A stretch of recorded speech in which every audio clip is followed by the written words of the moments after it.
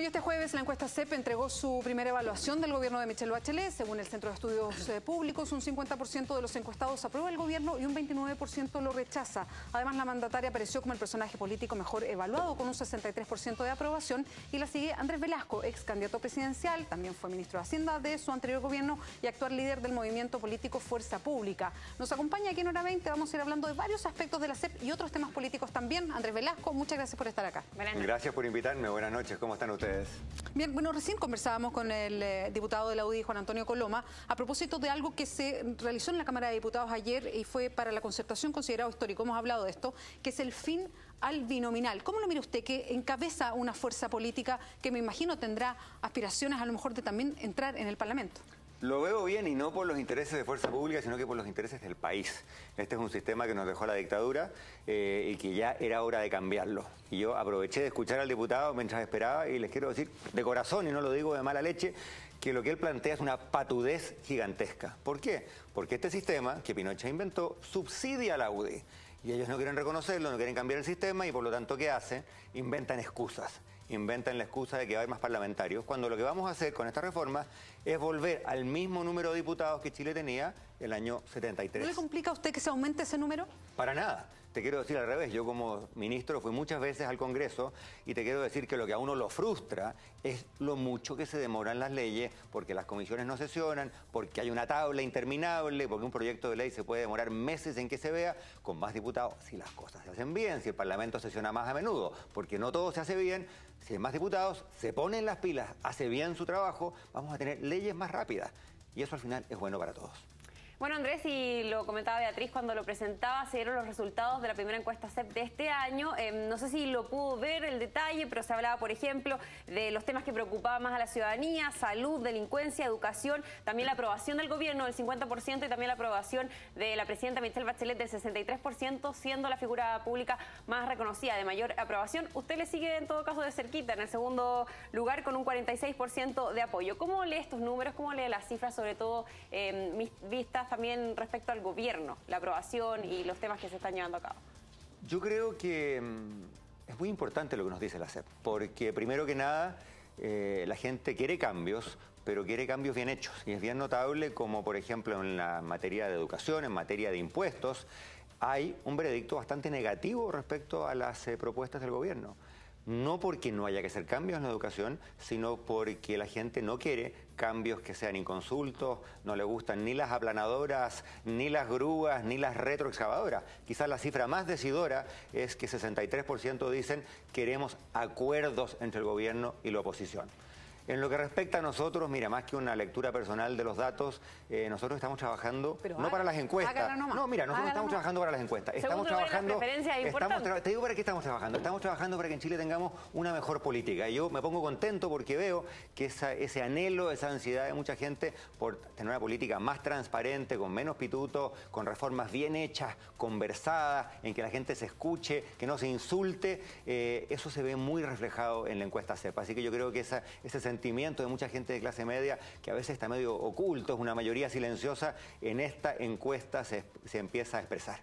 ¿Tuvo algún reparo en la fórmula de, en que se hicieron las preguntas, que también eso despertó cierta suspicacia? Porque, por ejemplo, cuando se pregunta por el fin al lucro, que es un tema bien interesante respecto a lo que pasa en la educación escolar, porque ahí está permitido, se asocia con, la pregunta se hace, pero asociando con la buena calidad, diciendo, si un colegio tiene buena calidad, usted apoyaría que terminara con el lucro, entonces se asocia una cosa con otra sin preguntarlo en, más sencillo, si se quiere. ¿Hay, hay algún, le, parecieron que estaban en forma correcta? Mira, no, no miré todas las preguntas con lupa, pero te quiero decir que primero me parece una práctica cuestionable que una encuesta que es la más respetada de Chile, y así lo dicen moros y cristianos, cuando súbitamente tiene un resultado que es malo para un lado, curiosamente se empiezan a cuestionar las metodologías. Eso ya de por sí, ¿no es cierto? Claro. Mira, eh, siempre cuando hay una encuesta los expertos le meten bisturí a cada pregunta. Yo miré esa en particular y el fraseo de esa no me parecía eh, nada que llamara la atención. ¿Por qué? Porque se pregunta si un colegio da educación de calidad, que es lo que todos queremos, se justifica en ese caso que también el dueño retire utilidades. Me parece un fraseo razonable. Eh, y mira, más allá de esa pregunta, porque uno se puede quedar pegado a una pregunta, a algunos les gustará más esta, a otros más la otra, pero el mensaje en general es cambios en educación, en impuestos, en salud, que es un tema que está ausente de la, de la agenda, pero que la gente en la encuesta subraya con mucha fuerza. Como lo más importante claro, de Pero cambios bien hechos, cambios en que hay acuerdos, en que nadie tiene una verdad revelada. Creo que el gran derrotado en esta encuesta es es la retroexcavadora, la aplanadora, la arrogancia política de algunos que piensan que tienen la verdad total y quieren pasarle por encima al resto de los chilenos. Eso hoy día fue derrotado. Sí, bueno, Beatriz hacía un atisbo respecto a una de las preguntas, pero se hablaba en general de que el 59% prefiere la educación particular subvencionada, 52% apoya el copago, entre otros puntos. ¿Cómo lee usted estos datos respecto a la reforma educacional que se está impulsando por parte del Ejecutivo? Chile necesita una reforma educacional. Tenemos un problema serio de equidad, de calidad, de acceso en nuestra, en nuestra educación. El problema es que la reforma que el gobierno planteó no obedece a las necesidades de las familias en Chile, sino que más bien obedece a una necesidad de resolver un problema político. El problema político era, había un movimiento estudiantil, el gobierno tomó la retórica del movimiento estudiantil y ahora se encuentra con que hay muchas familias de clase media que en esta encuesta y también en la calle, yo he conversado con muchos padres apoderados, con los dirigentes de los padres apoderados, que dicen, esta reforma no, no nos resuelve a nosotros los problemas. Es una, una reforma que de partida como lo dijo el otro día Mariana Elwin y la criticaron muy injustamente, es una reforma basada en la desconfianza, porque desconfía de los profesores, de los colegios, de los sostenedores, de los padres y apoderados. Lo que dijo el ministro de Educación es increíble, ¿no? Que los papás y las mamás mandan a sus hijos a colegios particulares porque quieren tener hijos, eh, compañeritos rubios, de ojos azules. Eso es un insulto, es no comprender la realidad. Pero, te, termino solamente, Beatriz. Entonces, eh, cuando uno habla con los padres y apoderados, ¿qué te dicen? Queremos, eh, queremos colegios en que en que los hijos estén seguros, en que los profesores hayan estudiado en buenas escuelas de pedagogía, en que haya una, cierta dedicación al aprendizaje. No hemos hablado nada de carrera docente, no hemos hablado de técnicas docentes, no hemos hablado del currículum, que son al final de cuentas las cosas que inciden en cuánto aprenden esos jóvenes en la sala de clase.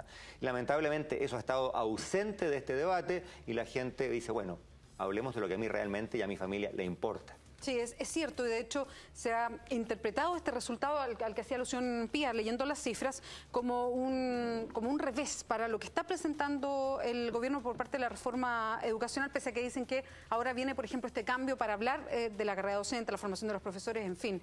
Pero ¿qué cosas usted eh, cambiaría en esto? Por ejemplo, ¿es partidario de lo primero que se presentó, fin al copago, con todo este plazo que se habla, fin a la selección eh, y establecer como un criterio mm, muy parejo con fin al lucro para los sostenedores? Tomemos los tres puntos. Respecto de la selección, yo no quiero, creo que los papás y las mamás de Chile no queremos que a un niño se le humille y se le diga tú no puedes estudiar aquí por el color de tus ojos, por tu apellido o el oficio de tus papás. Eso es inaceptable. Pero al mismo tiempo, tener mecanismos efectivos contra la discriminación no significa que tengamos que ponerle una lápida, por ejemplo, al Liceo Uno de Niños, donde estudió mi mamá, al Instituto Nacional, que son colegios públicos emblemáticos de calidad. lápida cuando eh, no hay selección? Absolutamente por la misma porque son instituciones que tienen una tradición de atraer alumnos especialmente talentosos. Te doy otro ejemplo, Beatriz. Eh, un colegio dedicado a la música, dedicado a las artes, dedicado a las matemáticas. Eh, ¿Tiene o no la posibilidad, debería o no tener la posibilidad de decir, mira, este niño tiene un gran talento musical, lo atraemos, este chico no, no. Yo en el colegio tenía buenas notas, era un desastre para la música. A mí nunca me deberían haber aceptado a ningún liceo que se especializara en música. Entonces, respecto a la selección, combatamos la discriminación, sí, de todas maneras, pero no afectemos aquello que funciona bien. De las pocas cosas que funcionan bien en la educación pública son los liceos emblemáticos. Entonces no, partamos la reforma reformando aquello que que sí funciona. Respecto del copago, de nuevo, yo comparto el objetivo. La plata no debería ser el factor que determine si un niño puede estudiar aquí o estudiar allá. Pero con la plata que está en la reforma, no se va a cumplir lo que el ministro dijo. El ministro dijo, no habrá niño que tenga que educarse con menos plata que hoy, porque el gobierno va a compensar la plata que los papás y las mamás dejan de poner. Esa plata no está. No está, digamos las cosas como son. Y por lo tanto podría no ocurrir... con la reforma. No, no, no alcanza. No alcanza porque el proyecto de ley que se... Digámoslo de este modo. Hay colegios que hoy día cubren, perdón, cobran hasta 80 mil pesos, 84 mil pesos de copago. Y con los bonos de compensación que se ofrecen y que están planteados en la ley, se compensa un poquito más de 20 mil pesos. Entonces, todo niño que hoy día estudia en un colegio particular subvencionado que tiene un copago entre 20 y 84 mil pesos va a quedar con menos plata. Y los papás y las mamás legítimamente se preguntan, bueno, ¿y quién va a pagar el profesor de gimnasia o, el laboratorio o las actividades extracurriculares o las actividades deportivas? Ahí tenemos un problema. Y finalmente, en el caso de que las eh, escuelas que hoy día tienen fines de lucro se transformen gradualmente en fundaciones, muy bien hecho pero no los obliguemos a una cosa totalmente arbitraria, que es tener que comprar el inmueble. Porque el día de mañana ellos hoy día riendan y le dicen al, dueño de la casa, oiga, véndamela, y el dueño dice no. ¿Qué hace el colegio? Tiene que cerrar. Y por lo tanto hay muchos papás que dicen, oiga, mi colegio ahí está, me gusta, no lo obliguen a cerrar imponiéndole un requisito total y completamente innecesario y arbitrario si se quiere evitar el abuso de que se compren eh, servicios o que se arrienden casas a precios desproporcionados, hay un millón de maneras legales de evitar esos abusos sin de nuevo, ponerle la lápida a muchos colegios que hoy día educan a cientos de miles de niños en Chile. Andrés Velasco, estamos cerrando ya la entrevista. Quiero una última cosa, ojalá Las que tú quieras, Beatriz. Usted fue ministro de Hacienda. Usted dice, estoy a favor de que se aumente la cantidad de parlamentarios y entregó su razón. ¿Esto significa que sí o sí el Estado tiene que poner más plata en el Congreso? Para nada yo hice una, una propuesta recortemos, digamos las cosas como son, porque aquí se habla con mucha ambigüedad. Yo soy partidario de recortar ciertos gastos actuales y que esa plata que se ahorre permita pagar a los nuevos parlamentarios. absolutamente. Te doy un ejemplo. Hoy día eh, eh, los parlamentarios reciben millones de pesos, millones de pesos para contratar asesores. Y uno se imagina cuando va al Congreso que vería, ¿no es cierto?, ejércitos de abogados y economistas y contadores y médicos y expertos. La verdad, la verdad es que uno rara vez ve a un diputado o un senador acompañado de un experto. ¿Por qué? Porque esa plata se utiliza para labores políticas en los distritos y la plata no fue pensada para eso. Propuesta, recortemos esas asignaciones, no las eliminamos, las recortamos. ¿Mejor asignaciones que sueldo? Eh, bueno, las dos, pero partamos por la asignación que, yo creo que es el, donde realmente hay más desperdicio de recursos. Y que buena parte de esos eh, asesores, expertos, no dependan del parlamentario, sino que como muchos parlamentos del mundo, dependan de la comisión, de la comisión de Hacienda, de la de Salud, de la de Trabajo. De modo que rompemos esa relación un poquito clientelista entre el diputado, el senador y, su supuesto asesor, nos ahorramos plata y con esa plata ayudamos a financiar lo que va a costar incorporar un número de parlamentarios que tampoco es tan grande. Mira, yo entiendo que el tema es impopular. entiendo que hay mucha gente que probablemente está en su casa diciendo, ah, no le creo a los diputados, pero yo, pero mira, pero en este tema hay que ser responsable. Volveríamos con esta reforma al mismo número de parlamentarios que Chile tenía en democracia pre-golpe. Viríamos, doy un dato que la gente probablemente desconozca.